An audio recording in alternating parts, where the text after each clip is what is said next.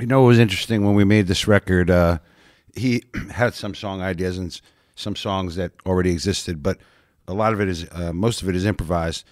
He asked me, name something for me to play about, to to write on the spot about. Um, just for example, one of the songs called Garcia, because we mentioned Jerry Garcia, and then he played for 15 minutes, expressing himself about his experiences with Jerry and things like uh, along those along those lines. So it's fascinating to watch somebody try to attempt that uh, solo experience, whether it's on a stage or in a recording studio. It's so daring, you know. You're so can you be more exposed, really, or you know, to to just show your creativity on a when you're all by yourself. Oh, I don't mind that. You know, um, I, I work sometimes uh, with this uh, with this artist named Nancy Ostrovsky.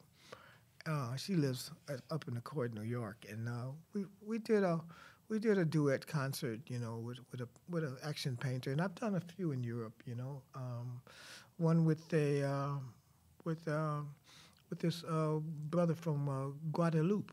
Um, very interesting to do action. I mean, the action, you know, musicians, I think we're, we're supposed to be some kind of a representatives of our time. We're supposed to be able to, not, not that we're sages or high level gurus or anything like that, but we should be able to, like a good painter, we should be able to interpret what's happening politically or um, socially around us. We we should be able to. I mean, there's there's many issues. I mean, this is this this is what Questlove does.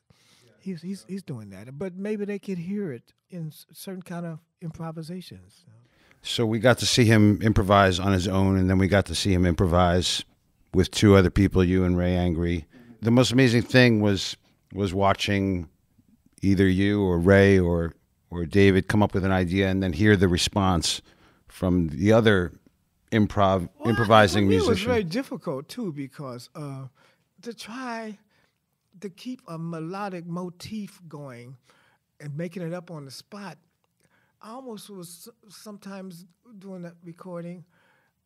I felt like I had to write melodies as I was improvising, something that people could hold on to because I, I'm really a true believer of the song form, even though people categorize my music as avant garde. But what I am is a person who's truly into the song form. Uh, melody is very important to, to me. And what they were throwing at me, what Questlove was throwing at me, it, it wasn't easy. I mean, I'm, I'm trying to translate his rhythms and then I play something, and then Ray would do something, and then it, it was like a triangle that was happening.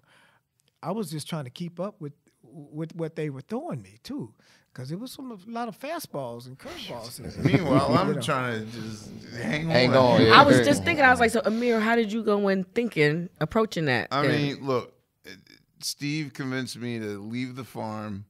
This was still like mid quarantine, right? Like, or at mm, least, yeah, towards the end, but yeah. yeah, it was like the the end of it, but still, like, I mean, that's in the air, and then. Like to even be creative in that time period, which is, I think, the real reason why I agreed to do it. I think I would have invented an excuse to get out of it because I think there's a point where maybe after 2004, 2005, I really just stopped trying to chase the dragon of, you know, virtuoso musician and that sort of thing. And so normally I would have said no to that, but I mean, you caught me right in the position where it was like, all right, well, I think everybody was challenged. Yeah, I wanted to get out the house and, you know, just have fun. So I was like, all right, well, let me make a fool of myself in front of. No. If, if David is going to take me serious, then I know it's it's good. And actually, you know, it's Oh, not- it was it was good, clean fun. Believe me. yeah, no, But- like but- I, but- I, but I was shot myself. too. I will I would love to do it again. We part of me also wants to take it live. So you know, that would be dope. That's what I was wondering if y'all would ever do that. Live would be fantastic.